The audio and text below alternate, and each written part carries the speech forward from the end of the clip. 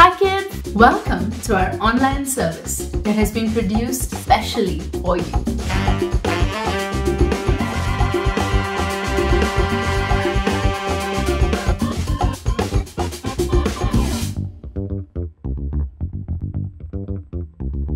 Hey kids, good morning and welcome to the online service that's specially made for you with love.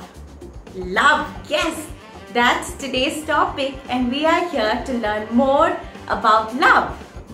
Now all of us have heard the word love so many times. Yes, it is an emotion that we all understand and we may also think that we know everything there is to know about love. But is it children? Tell me children, what is the greatest love that you all have experienced? Now you can type your answers in the live chat. Go on, tell me what is the greatest love that you have experienced? Hmm.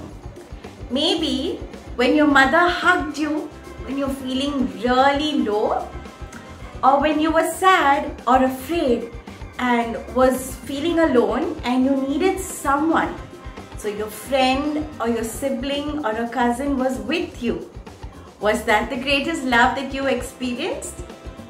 Or was it when your father defended you when mom was angry with you? Did you feel loved by your father then? Was that the greatest love that you experienced?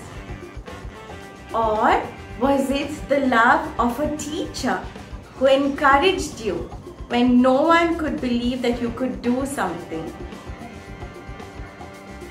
We've all experienced such things, right? And these are all beautiful examples of how love could have been expressed to us by the people in our lives. And they are something that we should all cherish. But the greatest demonstration or expression of love, do you all know when children? Yes, the greatest demonstration and expression of love was on the cross. When Jesus died for us so that you and I could have eternal life. Now here's a quick question for all of you. We all know that the Bible speaks about love a lot, correct? And different kinds of love. And in fact, some people even call the Bible a love letter from God to us. Now can any one of you tell me when is the word love first mentioned in the Bible? You know? Go ahead, type in your answers in the live chat. Any guesses? When was love first mentioned in the Bible? Go all the way back from the beginning.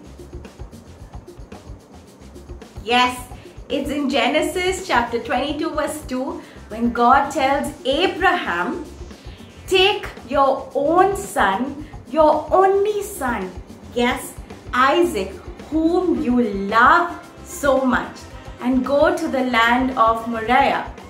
Go and sacrifice him as a burnt offering on one of the mountains which I will show you. Now, isn't that shocking, children? There are so many things that happen in the Bible before Abraham. There was the creation, Adam and Eve, Cain and Abel, and there was Noah and his ark, the great flood. It had been 2008 years from the time of the creation. 20 generations had lived on earth. But the word love was first mentioned only in Abraham and Isaac's story. A story that shows sacrificial love. What is sacrificial love? Sacrificial love means that you love someone so much that you are willing to sacrifice something else that is very precious to you for that someone. Just like how Abraham was willing to sacrifice his son Isaac although it was so difficult for him to show his obedience to God. But he was still willing to do so because of his love for God. This first love in the Bible was when a sacrifice was needed. But God substituted Isaac's, whom Abraham loved so much, with a lamb. But the greatest love in the Bible was when God substituted the lamb with the sacrifice of his own son's life on the cross for us. Now, love starts with God, his sacrifice. Our source of love is God and what he did for us on the cross. God is love. I would love to share more, but before we go deeper into this topic, let's all pray together. Let's close our eyes and pray. Lord, we thank you for this good Sunday morning and we thank you for the love you showed for us on the cross. We ask for your help, Lord, to be loving and that your love be the only language that we speak. Bless the service and let your love be poured out on all who are watching right now. In Jesus' name I pray, Amen. The word Hesed occurs around 250 times in the Old Testament. It's the main term used to describe the love of God. But this word Hesed doesn't just mean love. God's love is beyond what we think or know. God's love is filled with mercy. God's love is filled with kindness. God's love is filled with goodness. God's love is filled with grace. God and God's love is filled with loyalty. Isn't it amazing that we have a God whose love is beyond what we could imagine? Well, if it's amazing, what are we waiting for? Let's stand, clap our hands, rejoice, and praise God for His love. Good morning, kids. I don't know if you remember this song, but we did this um, at kids camp. And if you don't remember it, just follow along, do the actions, and I'm sure it'll come to mind.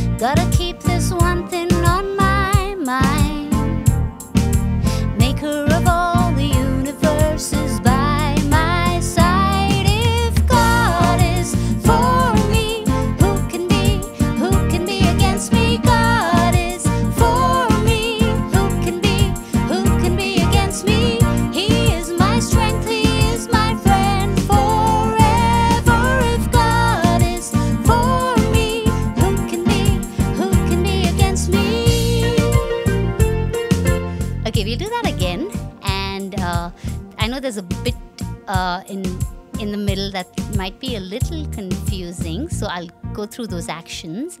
It's the line, He is my strength. Okay, so it's He is my strength. He is my friend. So when you're saying friend, you hold the hand of the person next to you. If there's no one, you can just swing your hand like me. But otherwise, hold it, bring it back up together, and then you leave it and say forever. So he's my strength. He is my friend forever. Let's do that again.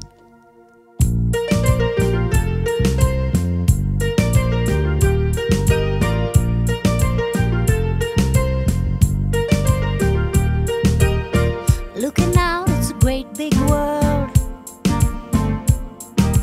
Where do I go? How do I fit in? Gotta keep this one thing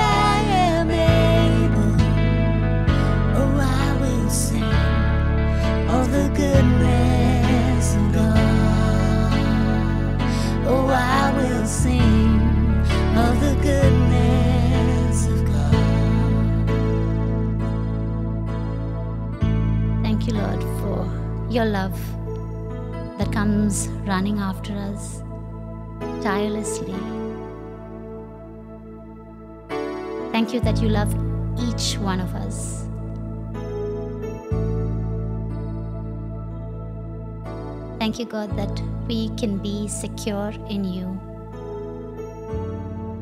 And that even when it seems like we are alone,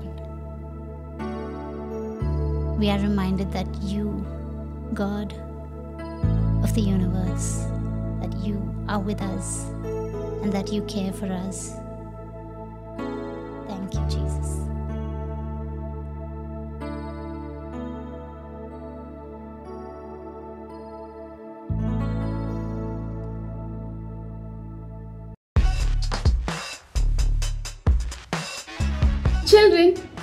know that God is the source of love.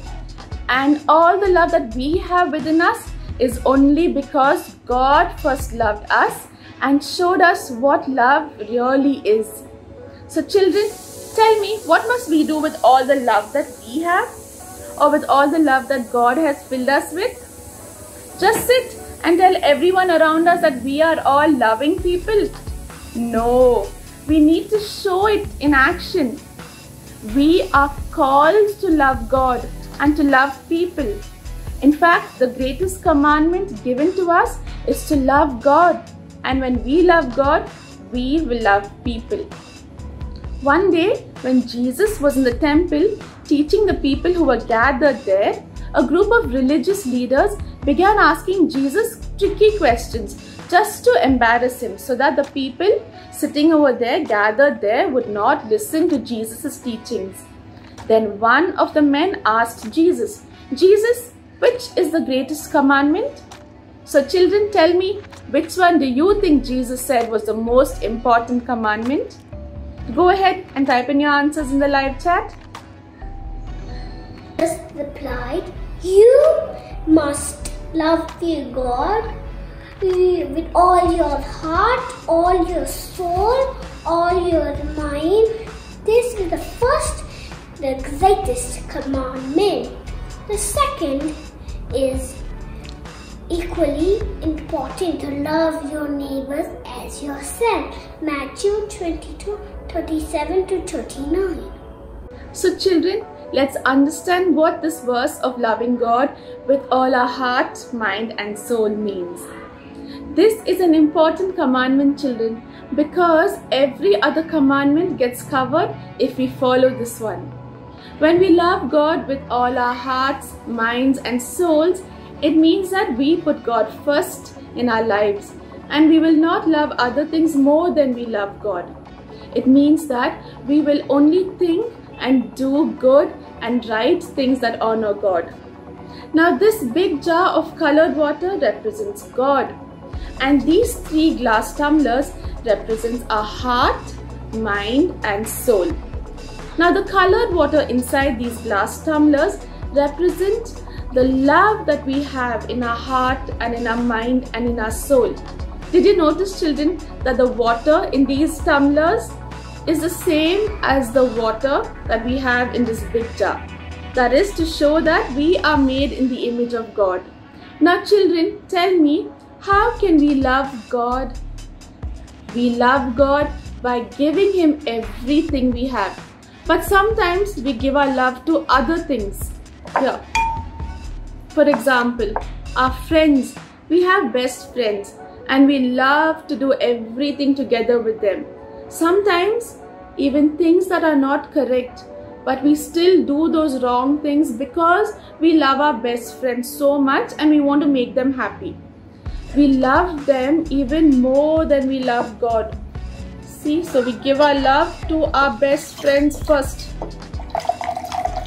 And then, because we love God too, we give part of our love to Him as well.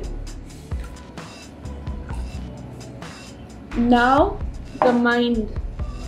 Do we always give our whole mind to God? Our mind is usually occupied with so many thoughts, isn't it, children? We want to love God with all our mind, but it is so occupied by thoughts about the TV show that we just watched, or about a song that keeps repeating in your head, or just thinking of things that distract you and separate you from God. We end up being caught up in our thoughts and we forget about God. To love God with our mind is to honor Him with our thoughts too. So these things distract us and take us away from God. That's how we give part of our mind to the things that don't please God. Give part of our mind that don't please God. And then we know that we are supposed to love God with our mind. So we give a little bit to God too. Next, the soul. What do we love with our soul? Maybe we are committed and we like doing good and helping others. But sometimes we don't have love when we help others. We only do it with the intention of being appreciated and we want people to think that we are good. Or maybe sometimes we want to become famous. That's why we do good things for others. And then we give the remaining to God.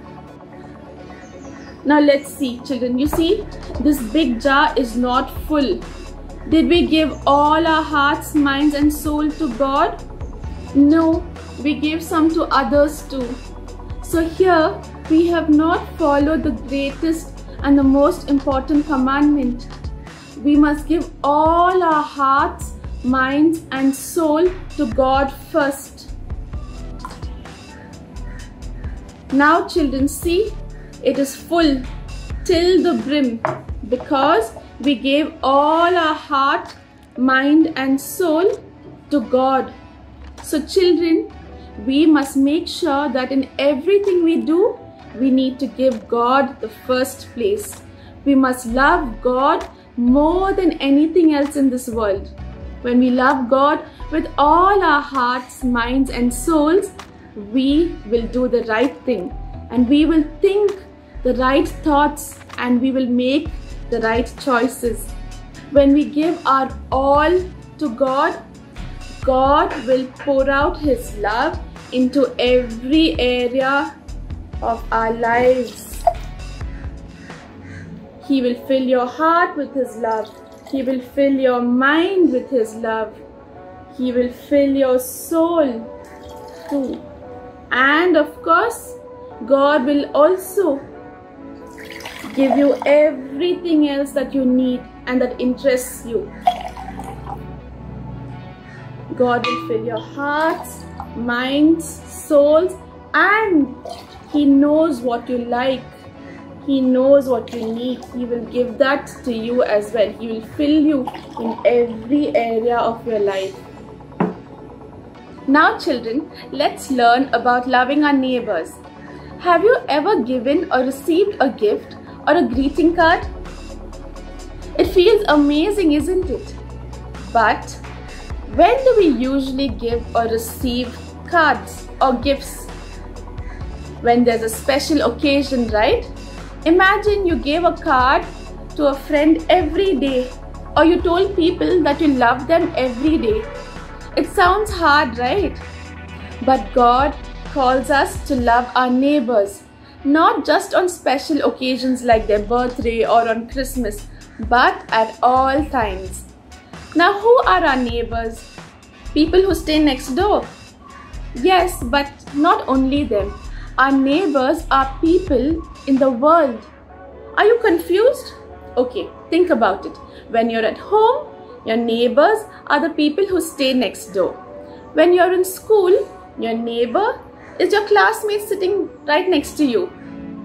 And when you're in a train or a bus or a flight, your neighbor is the person sitting next to you. When you live in a city, your neighbors are all the people in the city surrounding your city. And when you live in a country, your neighbors are the people who live in the country surrounding your country. So, children, when God said, Love your neighbors, it just wasn't the people we know. It was also the people whom we don't know and maybe we have never even met. Sometimes it is even people we may not like. But what is the commandment? To love your neighbor. If you show them love by being kind, by praying for them, by helping them, you are obeying God's commandment.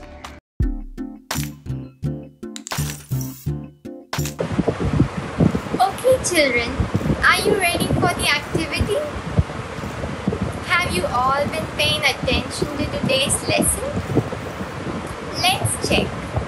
I will ask you a few questions and I want you to quickly type in your answers in the live chat section. Are you ready for your first question?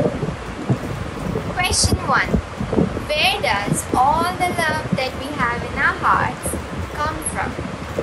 Who is the source of our love?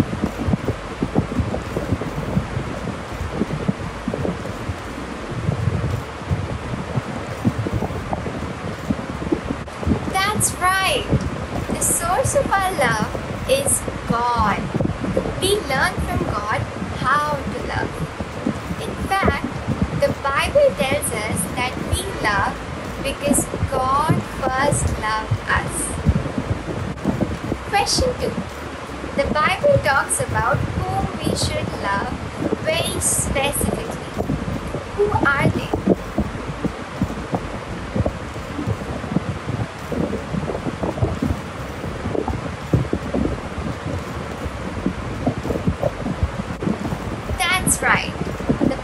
tells us that the most important commandment is to love God. And the next important commandment is to love our neighbors as we love ourselves.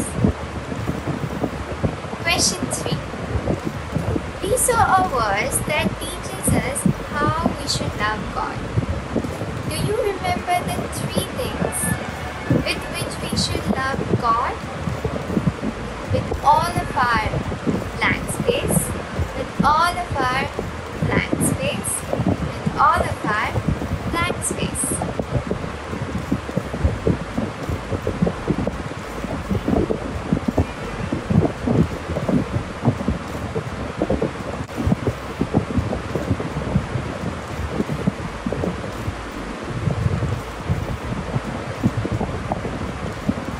Very good, children.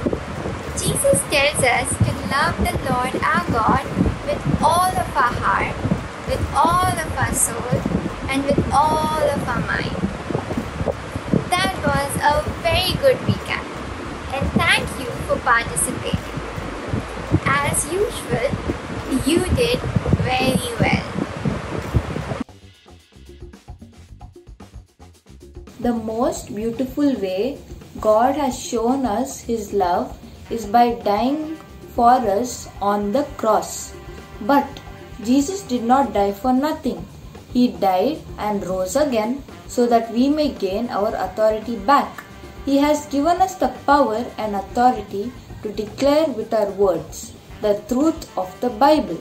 When we declare and believe it, we are exercising the power and authority that God earned for us on the cross. So, let's stand up, hold your Bible high up in the air, and make our declaration. Say this out loud, bold, and strong with me.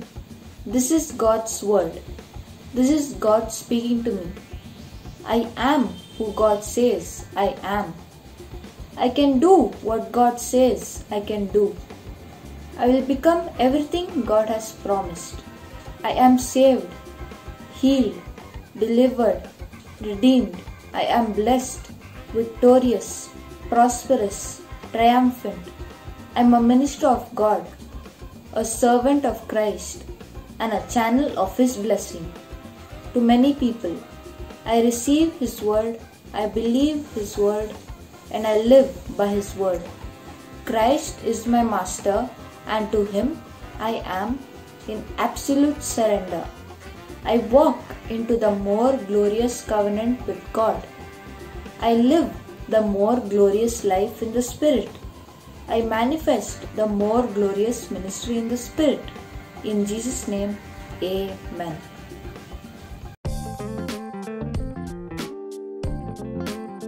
Wow, there is so much more to love than we thought there could be.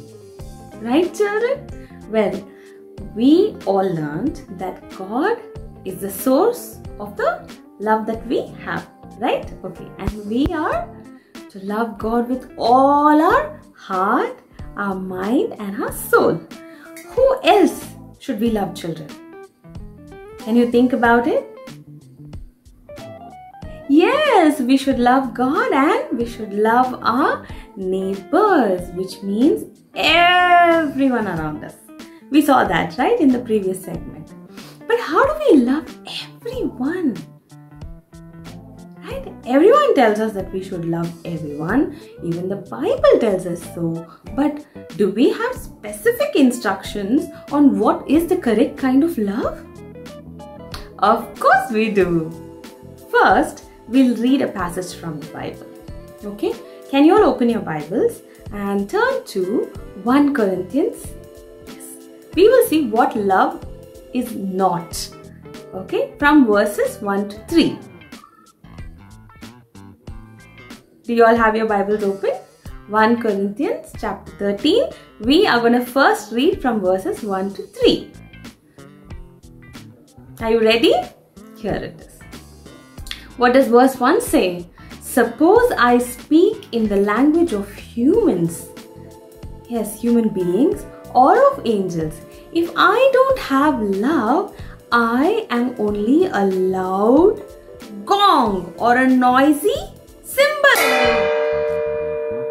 We may be people who have the gift of tongues or even the gift of uh, spiritual, all other spiritual gifts. But if we don't show love to people, if the people around us do not feel loved, all our godliness is like a clanging cymbal.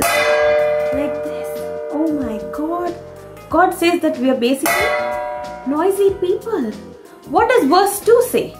Suppose I have the gift of prophecy. Suppose I can understand all the secrets of God and know everything. I have prophecy, I have the secrets of God, I know everything about Him. And I have enough faith to even move mountains. But I don't have love. I am nothing at all. God is saying all this doesn't matter. Well, if I have prophecy, I know all the mysteries of God, we have a great revelation, or have great faith to even move a mountain, all that doesn't matter. It is nothing.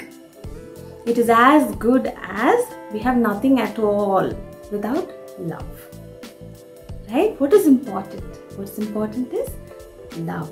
What does verse 3 say? Suppose I give everything I have to the poor people, right? And I give myself over to a difficult life. I put myself through a lot of trouble. So I can brag or I can boast about it. If I don't have love, I get nothing at all. What about when I give money to the poor people who are really in need or wear fancy clothes or not wear fancy clothes, have fancy toys or not have fancy toys? Because we want to be called good children or even brag or show off that we are not using fancy clothes, we're giving money to people or show off that how good we are, even that doesn't matter. That is not true love. That's not the love God is asking for. So, children, our great faith, our acts of sacrifice, and our miracle working ability, right, produces it when it's produced with very little love or without love, it's useless. Love is what makes our actions as gifts and useful. When we do something with love, is what that matters. Let's not be loud gongs or noisy cymbals. Now let's see what is the real and the correct way to love. Okay children, let's look further. Let's read 1 Corinthians chapter 13 verse 4 onwards. Uh, And we'll read all the way up till verse 8. It says, Love is patient. This means that we are able to be calm and wait for a long time without becoming angry or irritated or anxious. For example, when you are the one person who's doing all the chores in the house and your brother or your sister is getting away with not doing any chores in the house, how do you feel then? Well, it could be annoying and we just want to yell at them. But we need to be patient and be doing all the work as mama or dada has asked us to so that we can show love. What's the next verse? It says love is kind. This means being friendly, generous, understanding, polite, compassionate, even when we don't feel like it. And more importantly, when we don't like the person, Uh, we have to show kindness. This is putting love in action. What's the next one? Love does not envy. It means we don't have the feeling of jealousy or desire for someone else's things or qualities. An example of envy is when a person says, I want those new shoes that he has. He always gets better shoes than mine. Well, if you really are in love or you love the person, what would you say? Hey, your look shoes look great and I'm so happy you got them. Another example of envy is when a person says she has more friends. Yeah. And you complain about it saying she has more friends than I do. What is a good way to say it or a loving way to face the situation? Well, she has more friends. Maybe I should get to know her better. Envy makes us feel negative about others. But when we act in love, we see ourselves and those around us the way God wants us to. What's the next one? Love does not boast. Right? This means we don't have pride and brag about our own achievements, possessions, or ability. We just heard about how love is kind, love is patient, and love does not envy. But love does not boast or love is not proud either. We don't do things and expect to be praised all the time.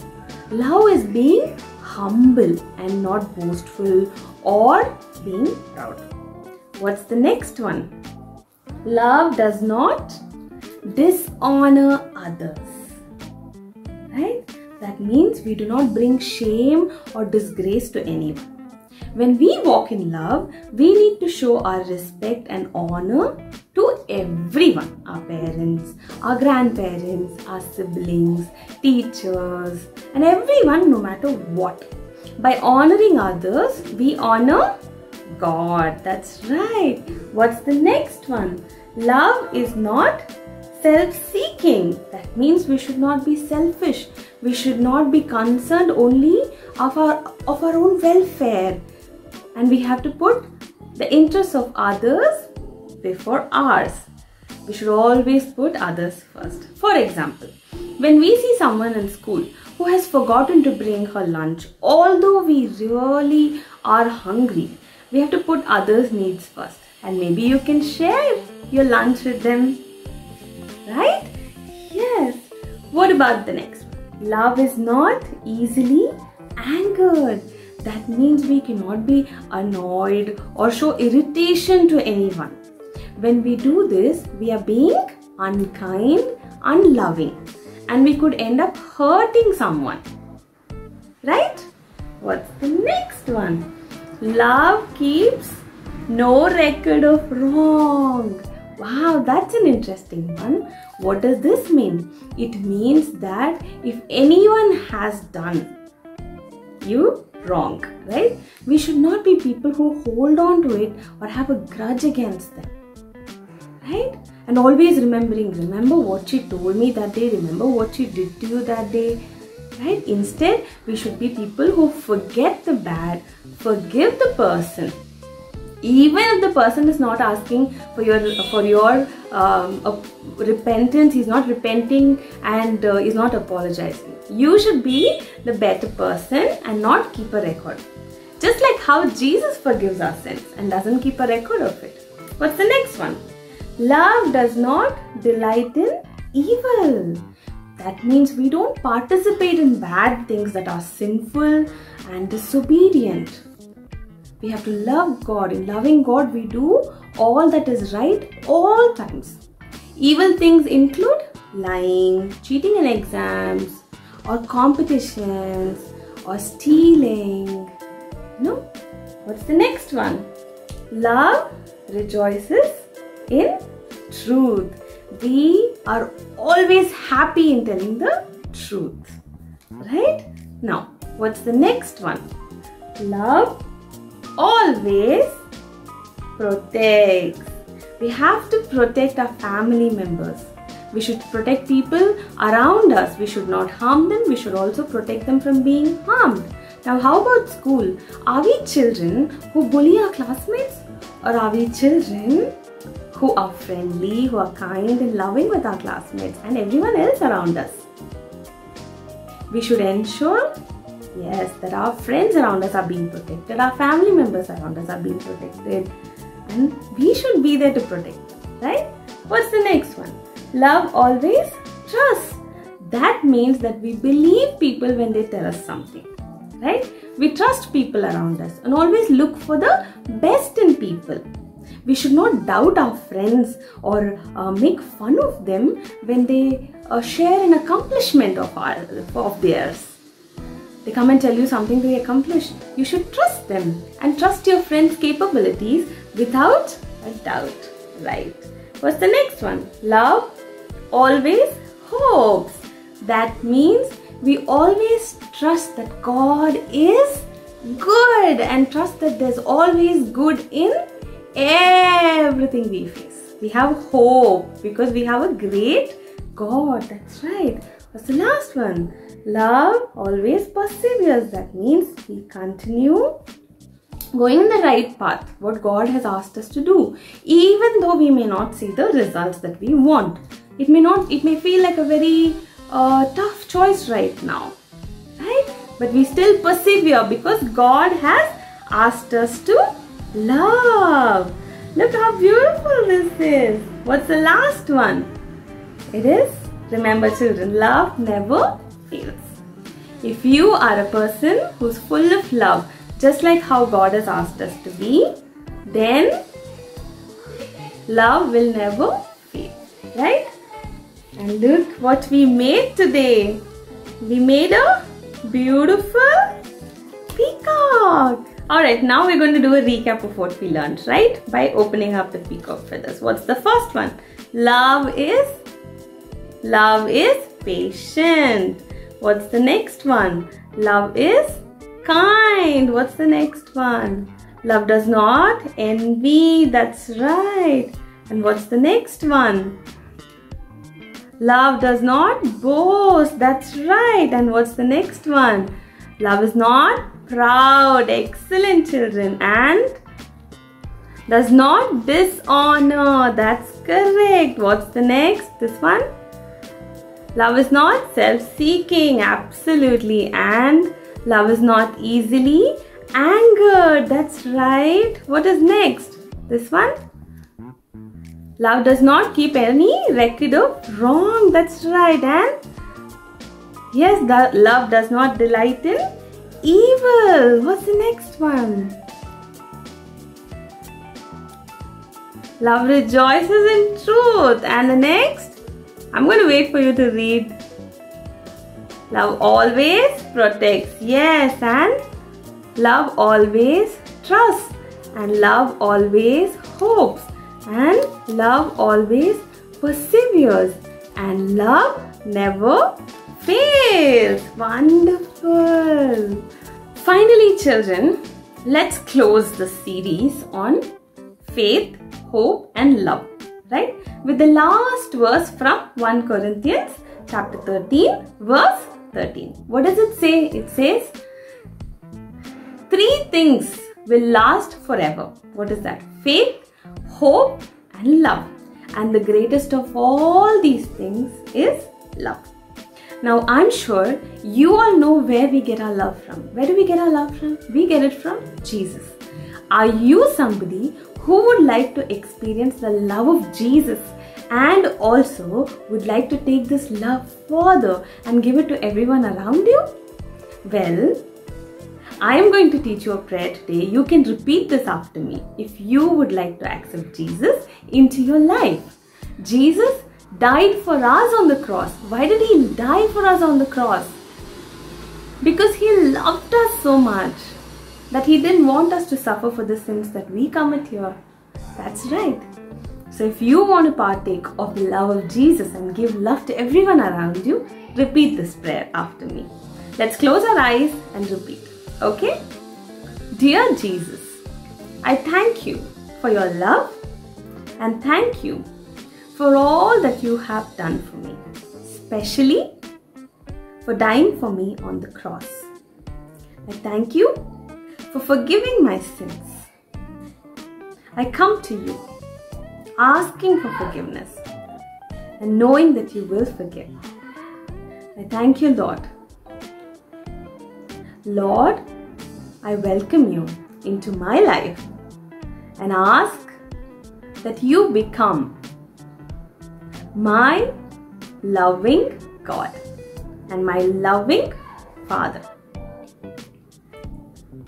Jesus, I pray and believe that you are the only God and you died for me on the cross. And only through you I can go to heaven and also show love to everybody around me.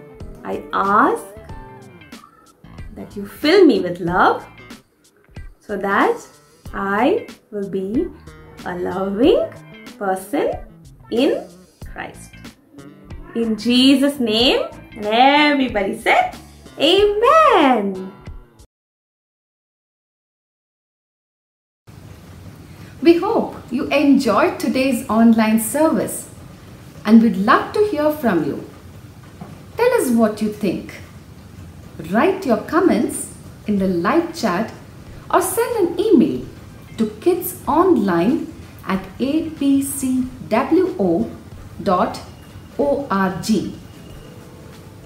Also, don't forget to visit us online at apcwo.org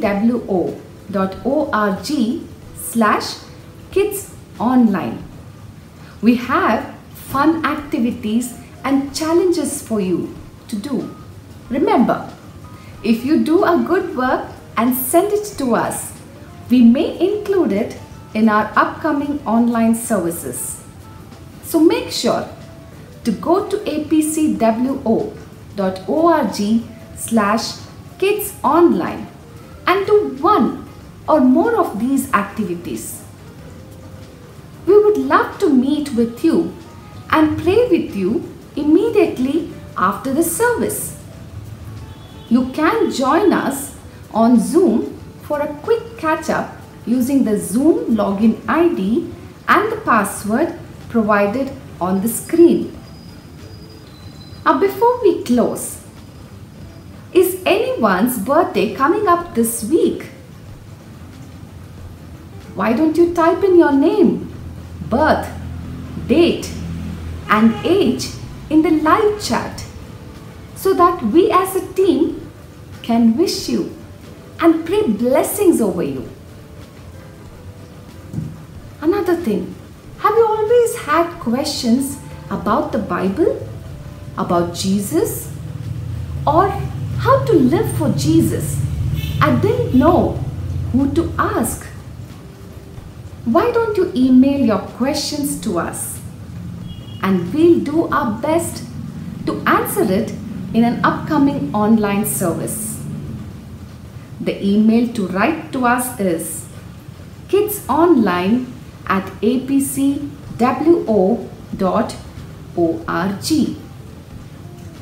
We look forward to hearing from you.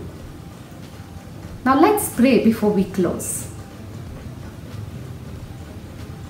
Father, we thank you, Lord, for this time that we understood, that we realized that your love is steadfast. Your love is of kindness, is of mercy, is of grace. You are always good. And you enable us, Lord, to follow you, Lord, to follow your footsteps, to show that love to others, Lord, the same way as you have shown towards us, unconditionally and steadfast, Lord. Help us also, Father, that we will show this love to those around us, Lord. That we will give you our best, oh Father God, our first priority, Lord. We will love you with all our heart, mind, and soul, O Father God. You will be the first preference and the first one we choose in every part of our lives, O Father God. We also pray that you will give us the strength, Lord. You will fill our hearts with so much of love that it will overflow to those around us, Lord Jesus. That we will show, irrespective of what they have done and what they have not done, we will still love them, Lord. Help us to do the good things, Lord, out of love, Lord Jesus. Help us to have that servant, servant minded attitude, of Father God. And I pray, Jesus, that each one of us, Lord, each one of us as uh, children and everyone bowed down here, Lord, everywhere across the world, oh Father God, whoever is joined in in this online service, Lord, that they will have the deep conviction of your love, O Father God, of know that a father's love is eternal, is, is for sure, is permanent and never failing, Father. And I pray that all the children will be blessed, O Father God. Help them to see your blessings, O Father, to count your blessings, O Father God. Help them to know that you are always there with them, Lord, when they are going out, when they are playing, when they are um, with their uh, friends, when they are on the online classes, when they are studying, Lord. Help them to be so deeply convinced that you are there right next to them, Father God. Listening to their every conversation, Father, helping them, giving them the wisdom and the grace, oh Father God. Especially during this time, we pray for your protection, for your um, uh, blood uh, covering over every child, of Father God. Help them to uh, seek you, Father God, for everything that is concerning their health, Lord. To follow all the uh, measures, of Father, of being safe in this time, oh Father God. Thank you, Lord Jesus. Take away every kind of uh, feelings and emotions that are not right, oh Father God, that have come because of the circumstance and giving your peace, giving, showing your love, Lord, through people and through uh, uh, those around them, oh Father God, that they will receive the love that they need, oh Father God. We thank you, Lord. Bless all the children during this week, oh Father God. Pray especially for those who are celebrating their birthdays in the coming week, oh Father God. Let your blessings be upon them, Father God. Help them, Lord Jesus, to see you like never before in the coming year, oh Father God. Thanking you for all your goodness that led them through this uh, past year, Lord, that they will still trust you in you, Lord, hope in you, Father, that in the coming year also you will enable them to be um, to be in good health, Lord Jesus, and in good cheer, oh Father God. We thank you and bless you, Father, because we believe and ask this prayer in Jesus' precious name. And all children said, Amen. Amen. God bless you, children. Bye. See you next week. I hope you all have a loving week. Bye. I'll see you all next time. Bye, children. I'll see you next Sunday. Bye, everyone. See you all next Sunday. Remember, God loves you.